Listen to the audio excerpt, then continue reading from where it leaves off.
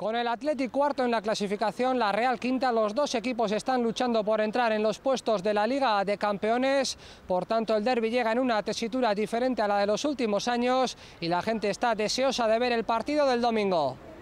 Eh, es mucho más bonito pelear por, por unos objetivos más, más, grandes, ¿no? como es la Champions, porque hace años me acuerdo que solíamos venir eh, los dos equipos apretados y... Que hace muchos años ¿no? que, al, que los dos a la vez no están tan fuertes o tan bien colocados y...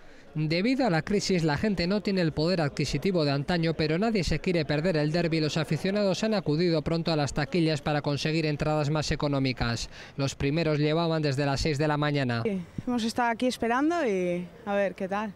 Además de guipuzcoanos, había algunos vizcaínos en las colas de Anoeta. Y ayer estuvimos haciendo cola en Samamés precisamente y fue imposible lograr entradas así de las más baratas de 40 50 euros, pues muy difícil. Dos entradas para dos de Amorebieta que allí no han podido coger y mira, ya les he cogido.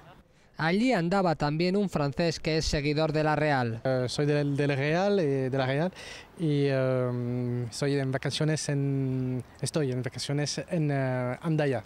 Preguntados por el pronóstico. El, el, favorito es la Real, está claro. Este año la Real ha ido a Champions y la Leti no. A ver si les metemos tres golitos ahí, como los tres reyes, ¿no?